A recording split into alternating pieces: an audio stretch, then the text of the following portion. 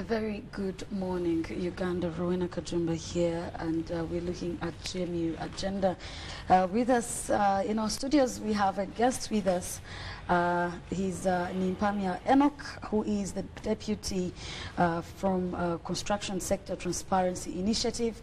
You could call it Cost Uganda, and he has a number of things that he's going to be discussing with us. You're very welcome. Thank you so much. Yes, and uh, indeed. Real quick, as if we could just jump into uh, our discussion, what is Cost Uganda? Tell us about Cost Uganda. Uh, Cost to Uganda, as you rightly put it, is Construction Sector Transparency Initiative.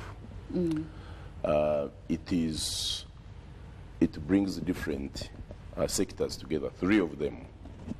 One is the government, the private sector, and the civil society, whose mandate or work is largely anchored uh, in construction uh, related uh, aspects. Okay. So for the case of our country, you need to know that cost is international, and different countries have, have subscribed to cost principles.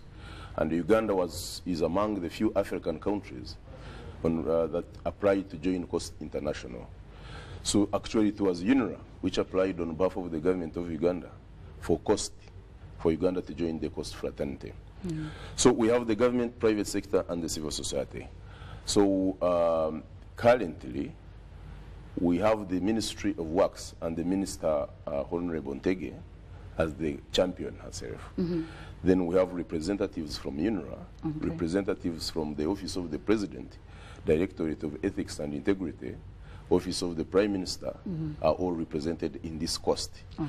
Uh, so looking at cost, as uh, uh, earlier on asked, uh, what is it that uh, you aspire to do, or what are the core features of, of cost?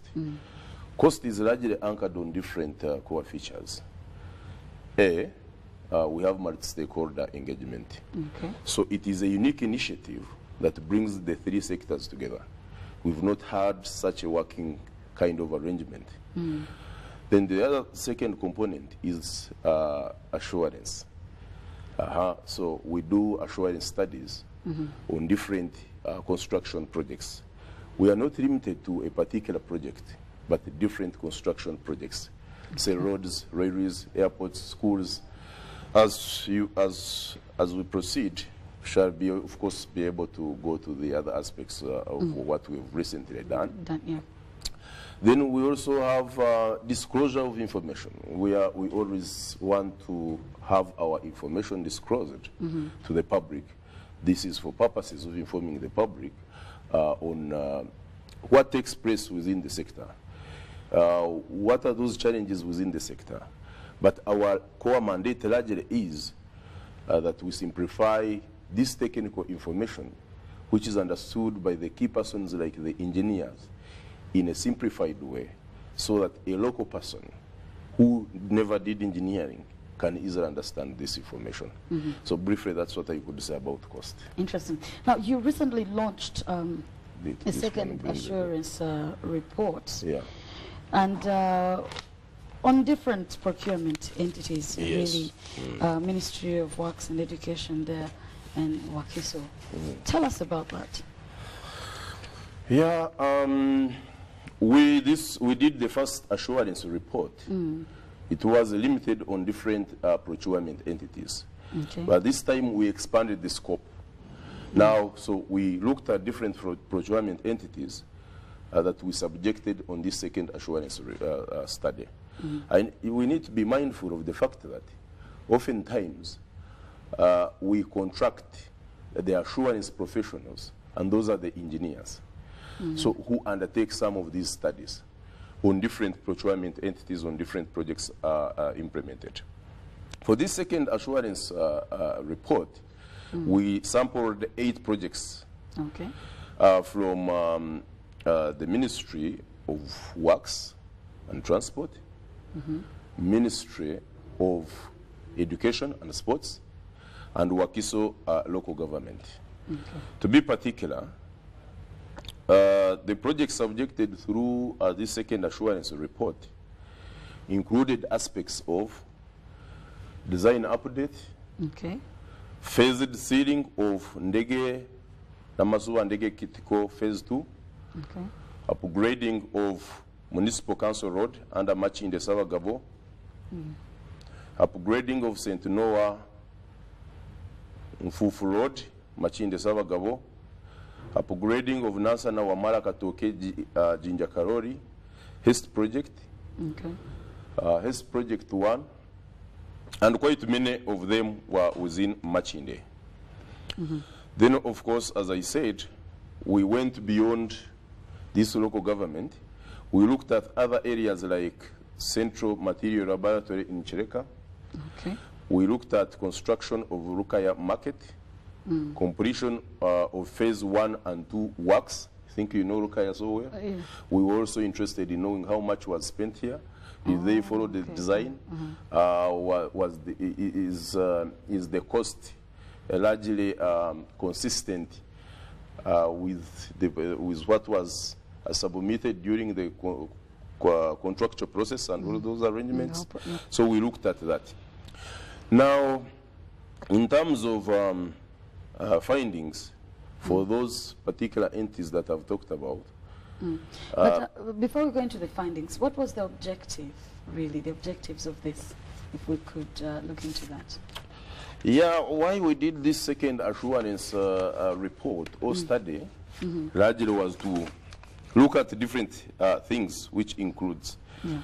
The main purpose was to verify information Mm-hmm. which is currently being disclosed in public since the project preparation, mm-hmm. planning, procurement, implementation, through completion. So the second assurance process was built on the mm-hmm. following objectives. Okay. Number one, we wanted to highlight issues of potential concern and good practices revealed by the disclosed, validated, and verified information. This relates to individual projects as well as common concerns among participating procuring entities. That was objective one. If there are those good practices, can we document them? Can we have them replicated in other uh, construction projects? Because we found that really over time, from the first assurance process to this second assurance process, there is a very significant change different procuring entities are subscribing to the cost ideals uh, because we have different disclosure uh, formats uh, which are internationally accepted, even nationally accepted, including those provided for under the PPDA. We also wanted to assist the multi-stakeholder group to liaise with the procurement entities managing the selected projects to ensure the publication of relevant data as outlined in the infrastructure data standards, or what we call the IDS. Okay. The other component, of course, we wanted to carry out more detailed review of the disclosed projects uh, or refer projects of concern to an independent uh, authority. So these were some of the objectives as to why we had to conduct this second assurance. Okay. uh, now, with these objectives, after you've pointed out really, uh, what findings did you get at, at the end of the day after? Um, well, in summary, I could say that one, we found that there is that different procuring, uh, procuring entities are now willing to disclose more information regarding uh, key aspects within the contracting process. This includes areas like project information, project location, project sums of uh, or project amount, project uh, start date, project completion date, um, aspects to do with cost variances, and quite many others. So initially when we started as Coast to Uganda, it was challenging especially by different procurement entities releasing this information. But increasingly, we realized that by 60%, they are now cooperative because they have realized that the more you disclose this information, we subject it to second uh, to the assurance process or to our processes, you are able uh, uh, uh, to brand yourself or you are able to be known as a good performer. Like for different tertiary institutions under the Ministry of Education, we visited different secondary schools, Oh, okay. tertiary institutions, universities, that uh, are being supported by Ministry uh, of Education. And we found really there were a few issues. Yeah. But in terms of transparency, we could realize that there is that something good That uh, is, yeah. that is coming, which wasn't happening uh, before. And of course, the Ministry of Works, having Honorable Ntege as our champion, has also significantly improved the way it conducts our business uh, in different uh, uh, projects that we subjected under the study. Okay. What do you think has caused the change in shift to see that they're now uh, uh, cooperative and going towards that direction? What do you think could have pushed them towards that positive uh, change? Yeah, this change in the trajectory is informed by our earlier engagements and processes. Because when COST in uh, Uganda was constituted, that's Yes. around 2015, there were lots of visitations. Uh, ca- can we do more than what we've been doing? If we have PPDA, what is this cost bringing Bring- on yeah. board? So we undertook a series of trainings. We undertook a series of campaigns uh, to different procurement entities and mm-hmm. all key relevant stakeholders, including the fact that we brought the best trained engineers from the UK and elsewhere, like Engineer Hamis, who mm-hmm. were able to teach different procurement entities the, their responsibilities, their mandate, mm-hmm. and how they can easily capture information.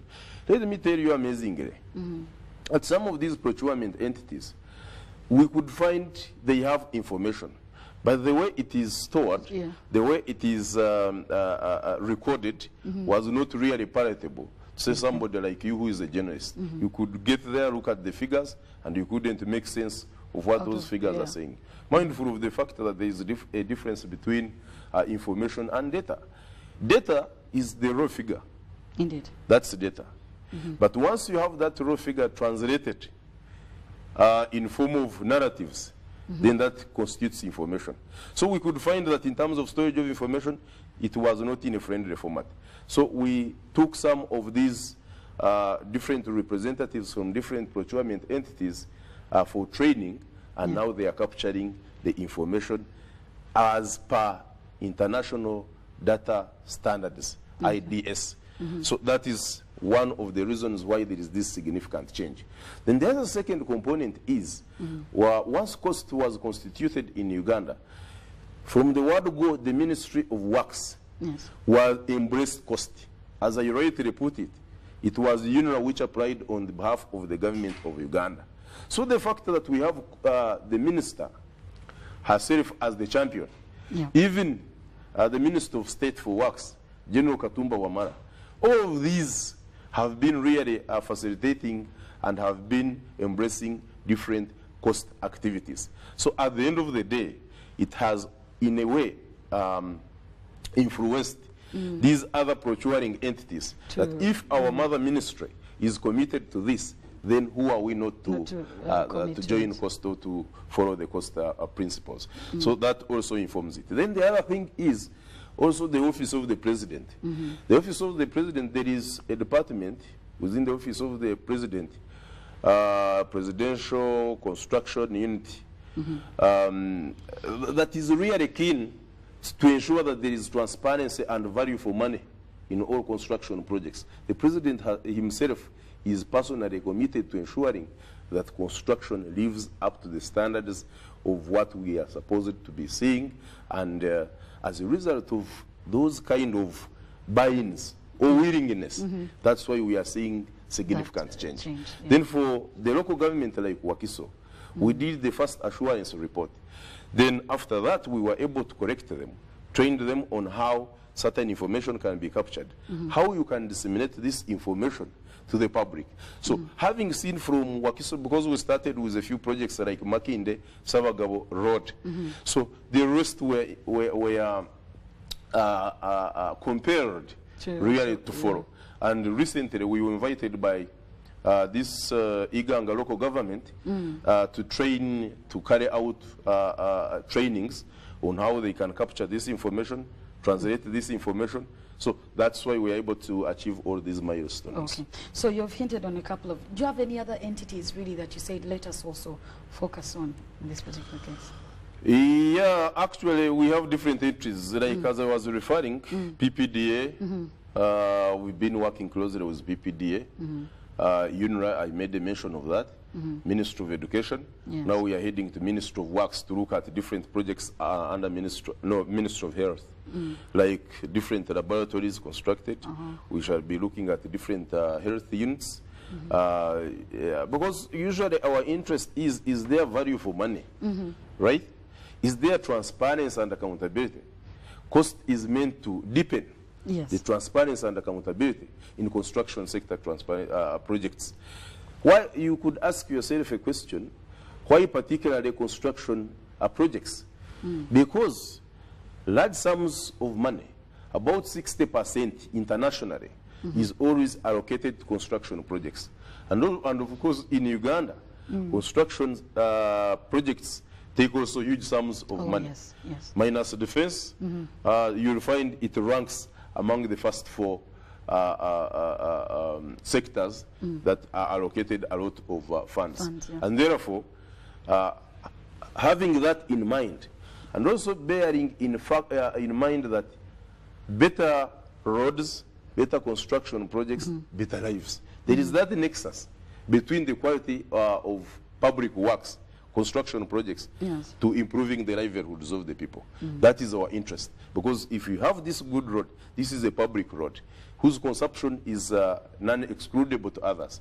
You will not know the uh, multiplier effects as a result of this particular road. But of course, we know that ultimately it improves the quality of life. That's why our focus Yeah. has been uh, uh, in the construction uh, of uh, public works. Then the other thing um, is uh, o- over time, uh, different, like even you, the journalists, your interest in construction projects was limited because you could say this is for engineers, isn't it? Yes. Could say this is for engineers.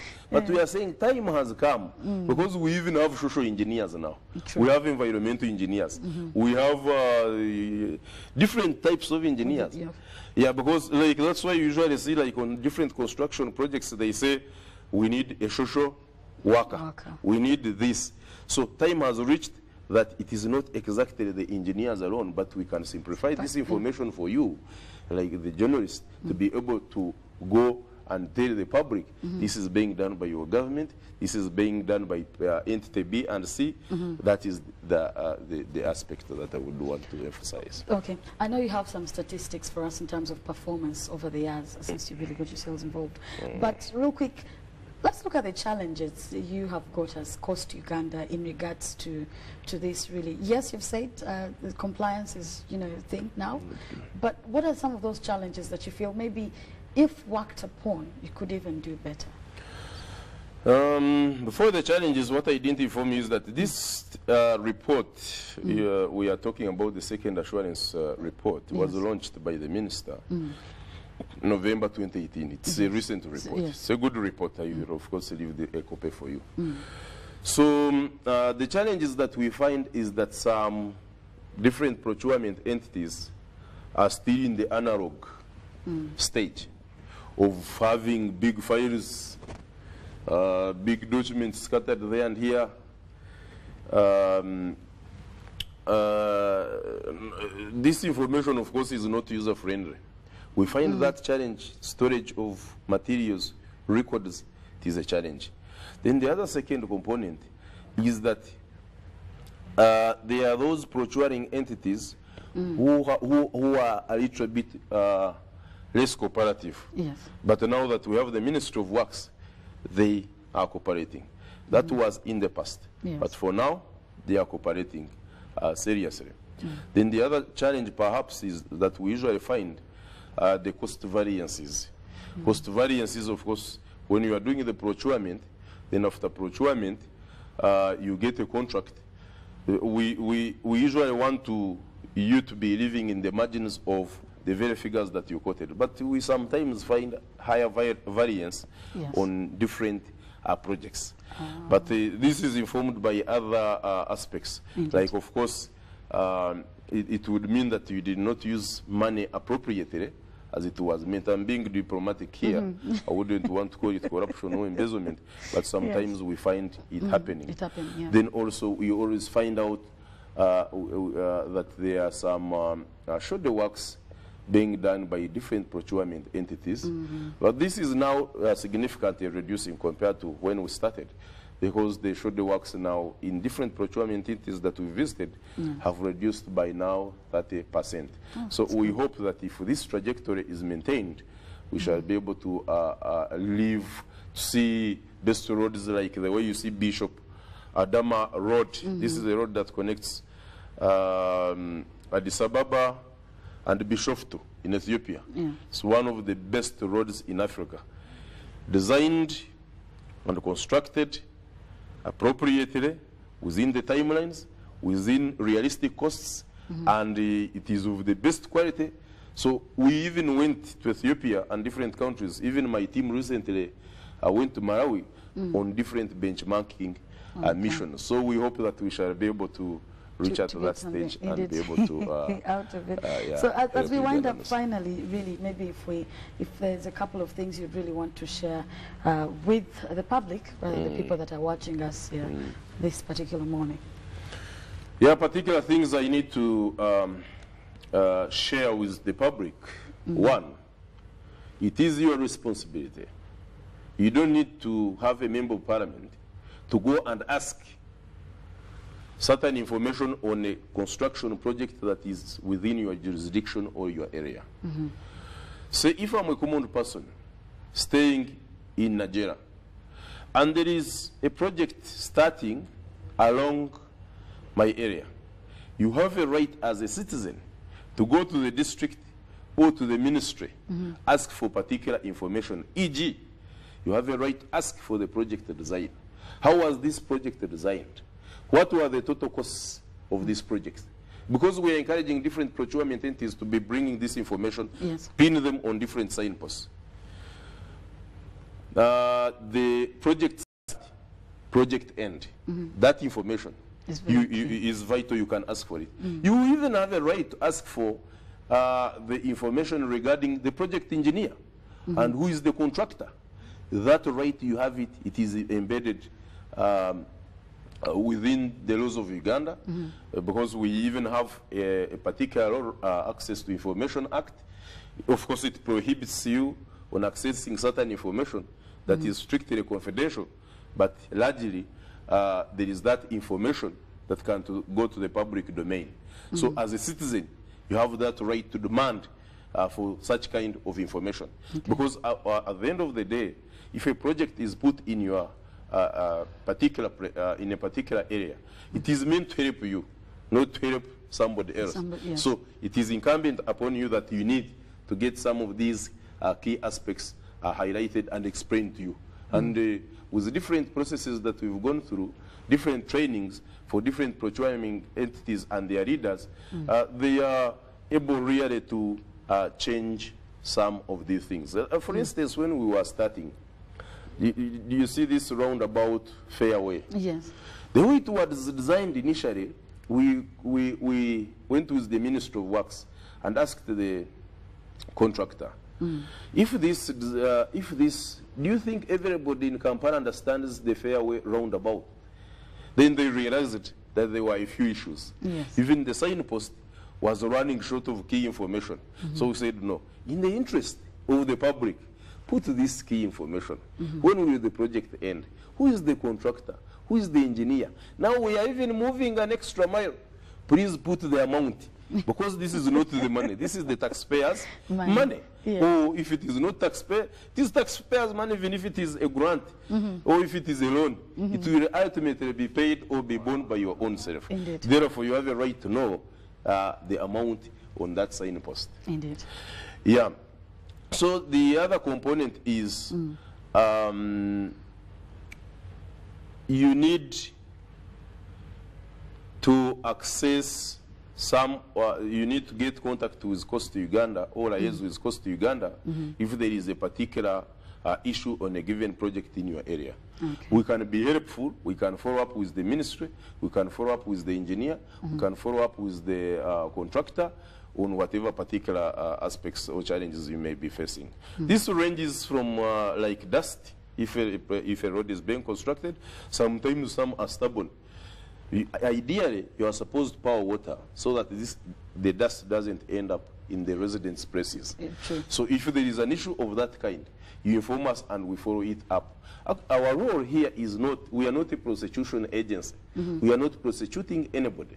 Our role here is to empower Mm-hmm. different procurement entities to live up to their standards and to live up to the expectations of the citizens of Uganda. Uganda. For us, we advise. For mm-hmm. us, we technically mm-hmm. conduct even studies to inform different decision-making uh, processes. Okay. Mm. Well, thank you so much. Uh, ni Mpamia Enoch, Deputy in the Construction Sector Transparency Initiative. You can call it COST Uganda, and he has been very, very clear on what their mandate is and what you, as a Ugandan, should be knowing, the kind of information that you have to actually ac- uh, access, your right to access. Anyway, but that's uh, what we had for you for now. Uh, but we're coming back with another session there on GMU agenda.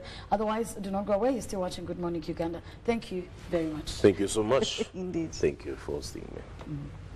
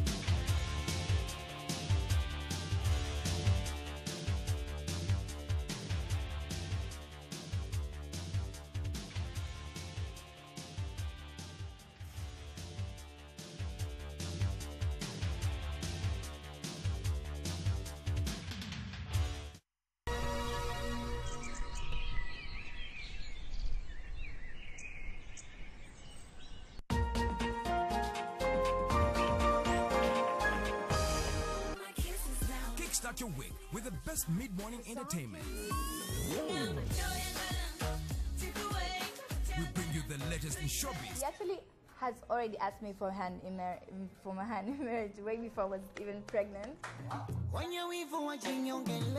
topical issues, So, as I told you, I want to become a business tycoon. Maybe I'll start with my a restaurant. Yeah. fashion, tech and gadget news, and your countdown. Join us Monday to Thursday, 10 a.m. Jam 101. We set the pace. Talking about the best, I said my name is in vogue. Yeah.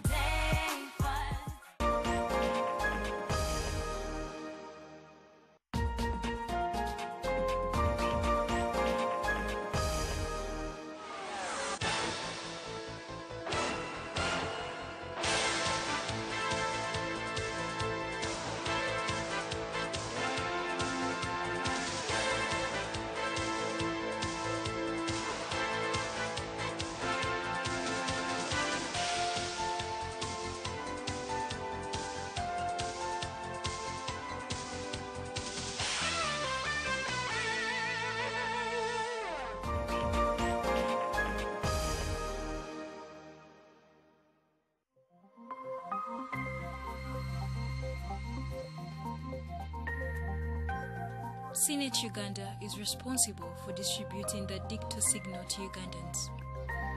We are currently activating all upcountry sites to boost our coverage. Jinja, Mbara, Masaka, Hoima, Soroti and Bale are now on. Our viewers in those areas are advised to use your free-to-air decoders to pick the signal. Uganda, your sole signal distributor countrywide.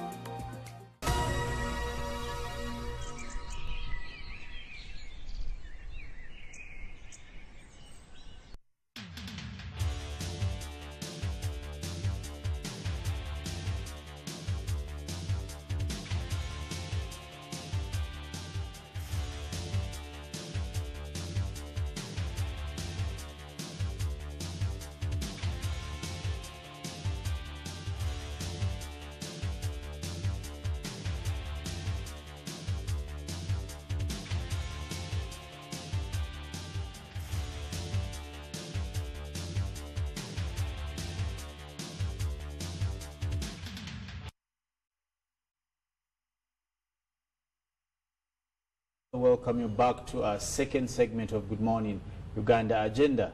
Now, we've been uh, geared up as a country and perhaps internationally for the World's Disability Day. Now, this is a day where we commemorate people with disabilities, people who have had uh, challenges in doing particular things, either physically, mentally, it could also be emotionally. Now, disability has been given quite a number of definitions world over, but we shall look for the most uh, closest to our viewers and perhaps to any layman in Uganda. And uh, this is simply where someone is not able to do particular things normally. This could be mentally, as I said, or physically. Now, uh, with me in studio, I'm joined by uh, a comrade. Maybe one would say a usual suspect. You're welcome, RDC. Thank you very much. Yes. Good morning to you. Good morning. And good morning to viewers. Okay. Uh, now we're speaking disability. Our viewers out there would want to know what is disability in, in a way as, as a person who has, who has been around, how would you define disability? Because so, so, so, someone who, is, who has uh, who, who, who had uh, his tooth did uh, remove his tooth also says that they're disabled. I've had one one member of parliament who I think at the time I was talking to them and he told me he's a representative of people with disabilities yet he had an eye optical problem. So what is disability? Well, it is. It could be uh, bigger than what we know usually. But I want to first of all uh, inform viewers that I'm not an expert Yes. on issues of disability, and uh, I am not a spokesperson of the people with, With disabilities. But I speak about this matter as a human being, as a Ugandan, and above all, as a leader. Because as a leader, you take care of uh, a number of uh, issues and a number of person, persons of different categories.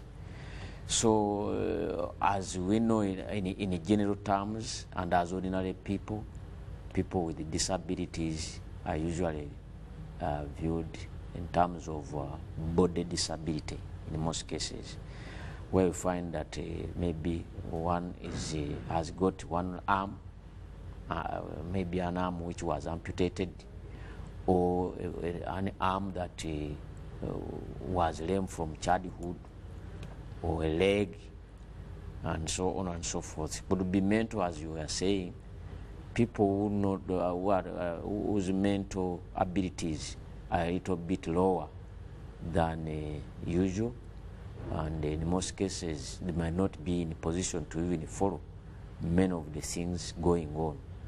And uh, that's where you find even the school, for, for instance, those who can also who cannot hear, who have hearing impairment. They, you have heard about the school of the deaf Yes. and uh, there are those who cannot see. Eh?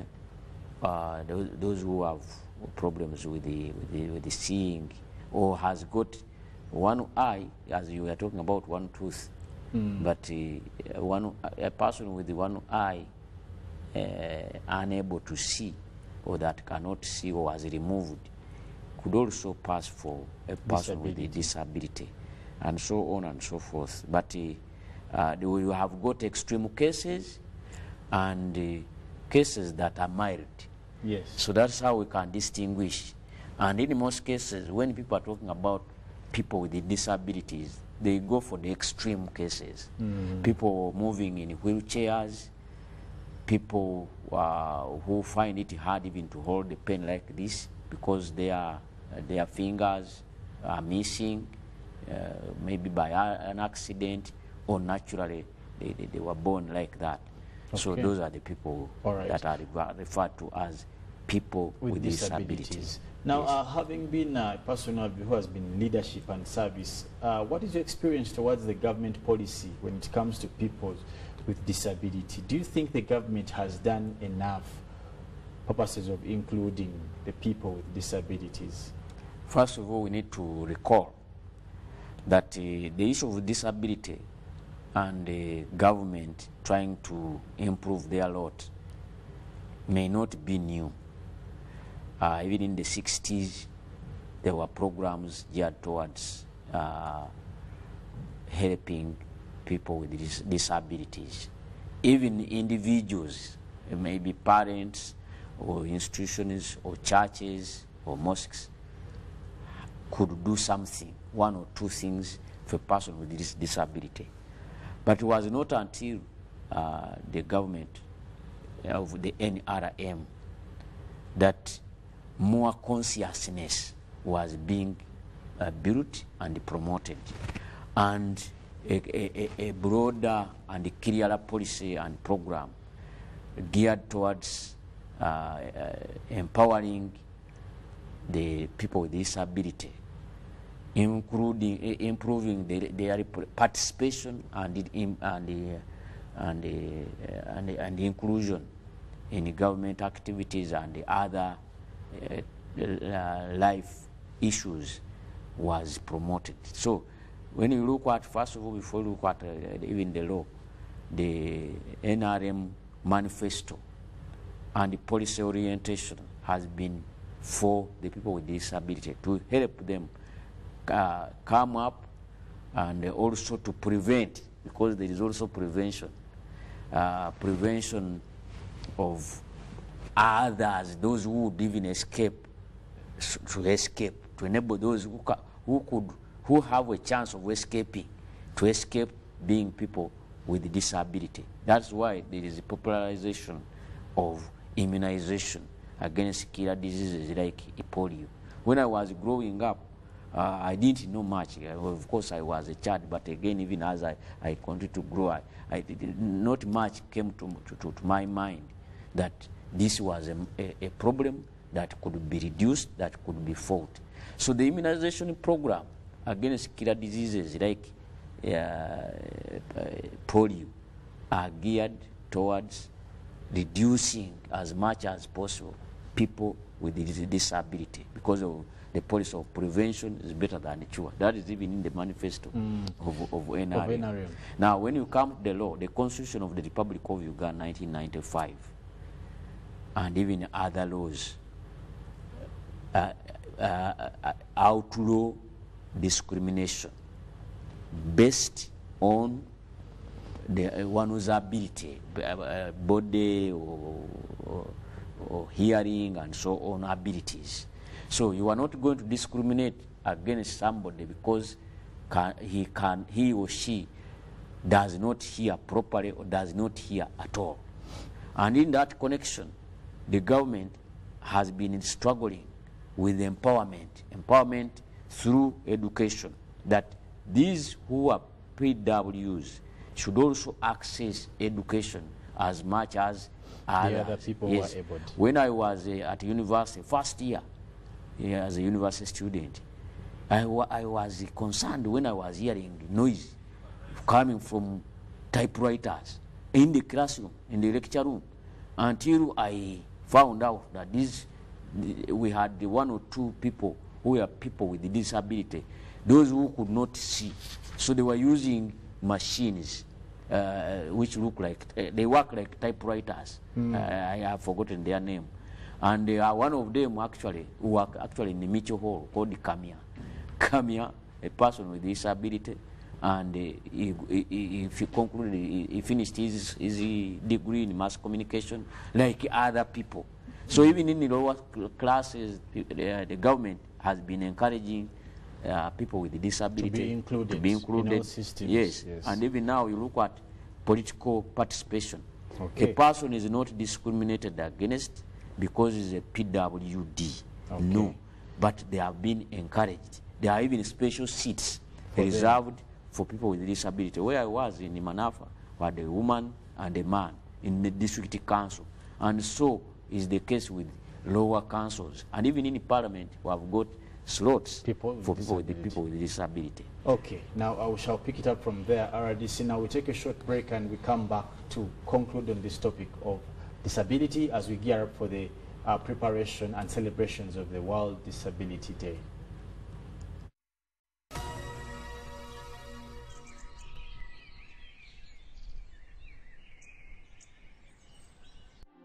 Experience convenience with Airtel Money today when you pay all your taxes. It's simple, it's instant, and it's secure.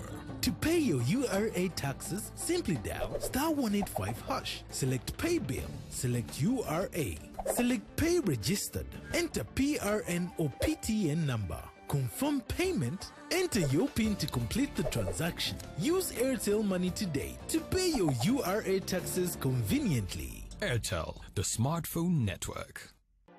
Following the amendment of the Excise Duty Act by the government of Uganda, the public is hereby informed that the mobile money tax has been amended.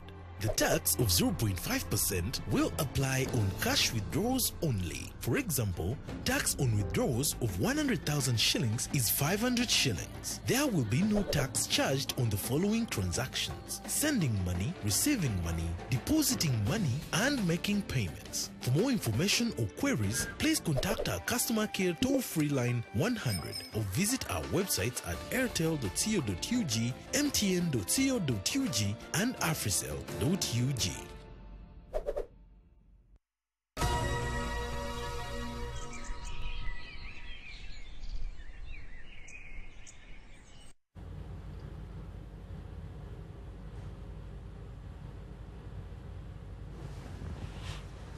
Well, welcome you back uh, to GMU Agenda. Good morning, Uganda. Now, I uh, still having this discussion about disability. Now, right from where we left it, a lot of laws in Uganda are this year, as you may know, like uh, the Persons with Disabilities Act, particularly talks about right to access of both premises, public places, but this is not something we have seen at all, you know. And yet, uh, institutions that give licenses for construction of these buildings are Ugandan entities and perhaps also government for that matter. Because we don't have a private institution that gives or accredits plans, for example, construction. All over Kampala, there is no building. If there is, maybe there are only say 10% of the 9 of 100% of the buildings in Kampala do not comply to these requirements. Uh, is there anything that you think is not being done by government or these institutions, particularly to see that these rights are appreciated for people with disabilities? No, in the first place, uh, uh, yes, I agree with you. There could be few buildings that are easily accessible by people with disabilities. Mm. But that is also an achievement that we should be proud of. And when we celebrate a day like today, we are celebrating this day, it is meant to take stock what has been done, what it means to be done. So if we have a few buildings, yes, we take note of, and then we take note of those that ought to have, and then chart a way forward. This day yeah, is a challenge to the leaders like me and others, and those who take key decisions to rise up to the occasion and ensure that the pe- people with disabilities have equal access to these buildings. Some of these buildings may not have that access because uh, technically maybe because there's many of them are, are, are older than when The this law laws. came Mhm. or when the, the, the, the, the, uh, the, the policy was developed. Now, but those that can are reminded to ensure that it is enforced. Our, our, our- the problem is enforcement. Mm. Uh, but uh, I'm glad that uh, media houses like UBC, TV, they immediately they, are, they, took, they took lead. You have that person of sign language. Yes. Took lead, and other TV stations are adapting, are following suit. Yeah. And that is an achievement you It cannot is. just uh, undermine. So slowly, we shall be there. But that weakness must be uh, addressed. Must be. Now, uh, we're looking at uh, people with disability and representation. Uh, there's what we call local councils. We also have at the national level. Uh, maybe lastly, uh, Ndugwara this year as also we wind up. Do we see fair representation of people with disabilities at the local level, where I understand you must have much knowledge about the people and us, and, and then at the national level? It could be enough Why? Uh, the, the, uh, people with disabilities are not everywhere. There are cases where a local council one might fail to uh, attract a single person, even if the, the position is there. Some of the positions remain unfu unfulfilled, un un un unfilled, because the people are not there. And then even the, the case uh, goes for these other levels of, of, of, of government mm. or representation. Now, the other, the, the other uh, point that one has to consider is that not everybody, even when they, they are there, not everybody is interested in political leadership. Mm. So you'll find that a, a local council uh, city uh, has a slot for PWD, but uh, those interest uh, uh, uh, who are PWDs may not have interest, you know. and, and so that you cannot blame anybody now. But, but, but, but, but when you speak about representation, sometimes you're also looking at services that are meant to go to mm. people with disabilities. That's right. Regardless of their, because for example, and as a RDC, your representation is not limited. Mm. It is to all of the people, mm. disabled or not, mm. and all these things. Do we have any programs that are involving, you know, what is the, how do we help these people? No, I, have, I told you about education. That's why you even have uh, a full institution, UNISE, mm. in Kyambogo. Yes. Then uh, we have been discussing access that's being promoted. Then we have got wheelchairs. Uh, government has participated in providing wheelchairs to some people yeah. and also encouraged non-government organizations uh, to step in. I know for a fact in a district, district two districts, there is a bishop called Girard He, he, he, runs a church and a, a, a NGO approach.